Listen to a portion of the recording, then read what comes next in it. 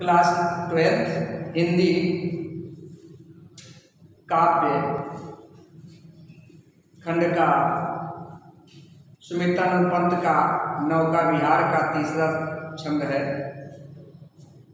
नौका से उठती जल हिलोर हिल उठते नभ के ओर छोर, विस्फारित नयनों से निश्चल, कुछ खोज रहे चल तारक दल, ज्योतिष कर नभ का अंतस्थल। जिनके लग द्वीपों को चंचल अंचल की ऊंड किए अविरल।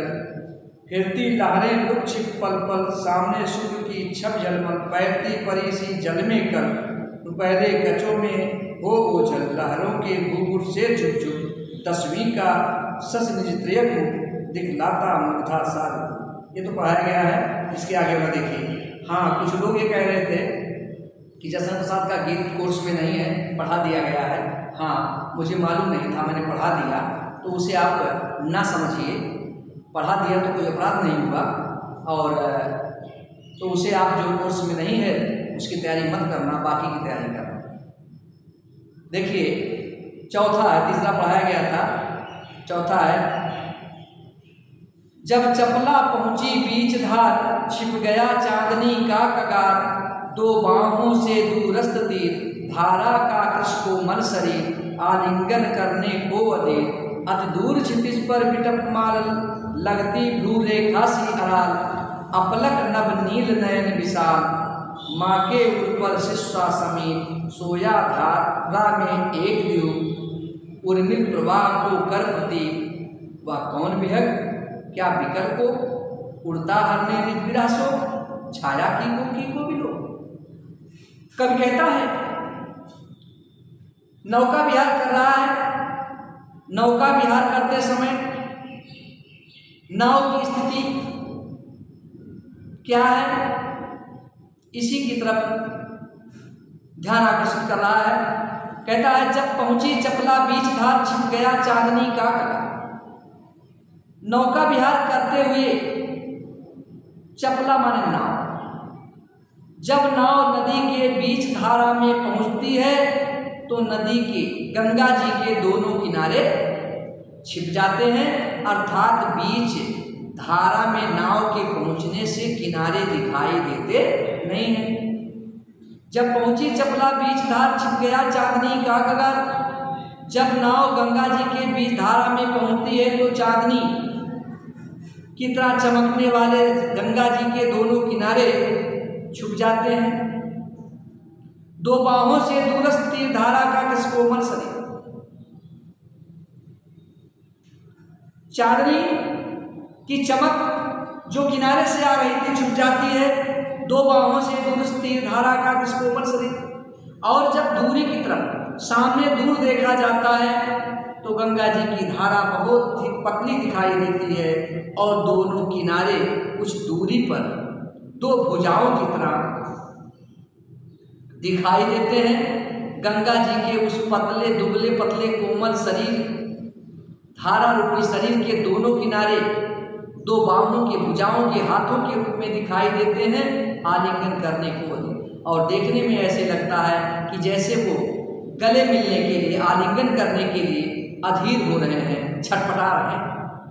अति दूर क्षितिज पर, अत्यधिक दूर क्षितिज पर। क्षितिज क्या चीज़ है? जहाँ पर धरती और आसमान मिले हुए दिखाई देते हैं, उसे कहा जाता है क्षितिज।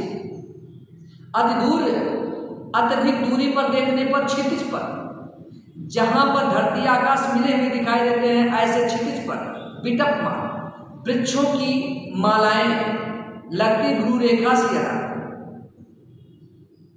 वो इतनी काली लगती हैं कि जैसे भाव की भयंकर रेखा जैसे भाव की भाव आँख के ऊपर भाव होता भाव के बाल काले काले होते हैं। तो जैसे भ्रू के, की रेखा होती है काले काले जो भयंकर दिखाई देते हैं, दूर से देखने पर, क्षितिज पर, वृक्ष की मालाएँ जो दिखाई देती हैं, काली पट्टी दिखाई देती है, वह बिल्कुल जो है, वो भाव की रेखा की तरह भयानक लगती है। अपलक नब नील नैल अपलक। आसमान एकटक अपने नीले बड़े नेत्रों से देखता हुआ दिखाई दे रहा है। माँ के ऊपर शिष्य। समीप सोया धरा में एक और गंगा जी में जैसे माँ के हृदय पर। जब माँ लेटी होती है, छोटा बच्चा माँ के सीने पर। सोता है। उसी तरह से गंगा माँ के हृदय पर छोटे बच्चे की भांति पास में ही सोया धारा में एक द्वीप गंगा जी की धारा के बीच में एक टीला है, जिसे द्वीप कहा जाता है। द्वीप क्या है? जो चारों तरफ़ पानी से घिरा हो, जो भूभाग उसे द्वीप कहा जाता है। तो गंगा जी की धारा में एक द्वीप एक छोटे बच्चे की भांति उसी तरह से सोया हुआ दिखाई देता है, जैसे माँ के सीने पर छोटा बच्चा सोया हुआ दिखाई देता है। उर्मिल प्रवाह को कर्म दे। और जिस तरह से बच्चा माँ के हृदय पर सोया हुआ अपने हाथ को इधर उधर फेंकता रहता है, उसी तरह से गंगा जी की उर्मिल प्रवाह, उफनती हुई लहरें उस द्वीप में टकरा करके वापस आती है। प्रतीक माने उल्टा। उसमें टकराती है और पलट करके पीछे आती हैं।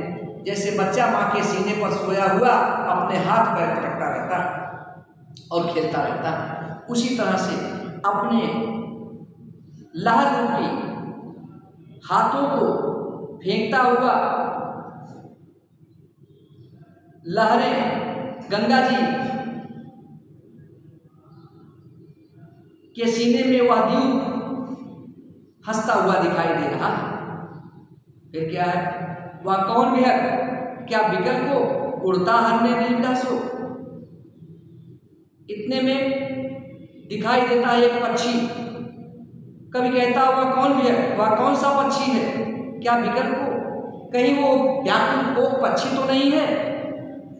उड़ता नहीं, हरने नहीं सो कि वह अपने बीड़ा के अपने प्रिया के, अपने पत्नी के विरह शोक में को दूर करने के लिए वह गंगा जी के ऊपर उड़ रहा है। चकवा पक्षी चकवा पक्षी से कोक पक्षी कहा जाता है। वह रात में अपनी पत्नी से बिछड़ जाता है। रात भर विरा में व्याकुल रहता है और सुबह फिर मिल जाता। तो कोक पक्षी गंगा जी के जल के ऊपर, धारा के ऊपर उड़ रहा है अपनी परछाई को देखकर। छाया की कोकी को भी वो अपनी प्रतिबिंब को उस गंगा जी के जल में देखता है तो कहता है, मेरी कोकी मेरे साथ है, ऐसा समझ लेता है। वह कौन भी है? वह कौन सा पक्षी है?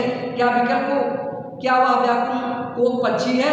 उड़ता हर निर्जसो जो अपने विदा के शोक को दूर करने के लिए उड़ रहा है, छाया की कोकी को भी लो और अपनी छाया को देखकर अपनी कोकी समझ करके वह नदी की धारा के ऊपर उड़ता हुआ अपने शोक को दूर कर रहा है।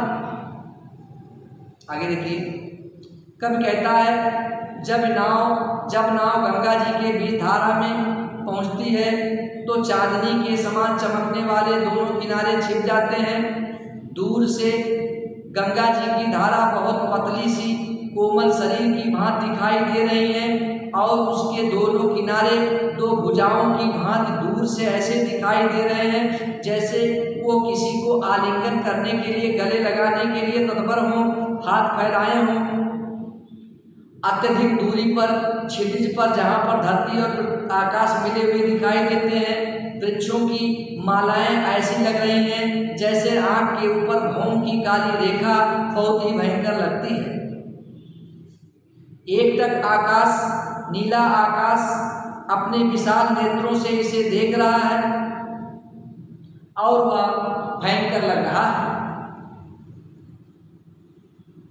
गंगा जी के धारा के बीच में एक छोटा सा द्वीप, जो जल से चारों तरफ़ घिरा हुआ है देखने में ऐसे लगता है कि जैसे छोटा बच्चा अपने माँ के हृदय पर लेटा हुआ खेल रहा हो, उसी तरह से गंगा जी के धारा के बीच में वह प्रवाह वो ट्यूब सोया हुआ दिखाई दे रहा है और गंगा जी की लालें उस पर आकर टकरा करके वापस लौटती हैं, जैसे बच्चा अपने माँ के सीने पर सोया हुआ हाथ पाँव पटक कर खेलता है। फिर कभी कहता है, वह कौन सा पक्षी है? क्या कहीं वह व्याकुल को पक्षी तो नहीं है, जो अपनी प्रिया के विदा में व्यथित अपने शोक को दूर करने के लिए गंगा जी के जल के ऊपर उड़ता हुआ अपनी छाया को गंगा जी के जल में देखकर उसे अपनी कोकी समझ करके अपने विरह शोक को दूर कर रहा है? आगे देखिए पतवार घुमाया प्रथम भार।